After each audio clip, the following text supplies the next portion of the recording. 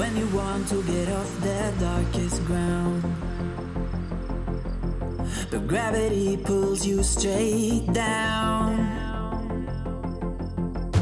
Earth from a bird's eye view. You should go further.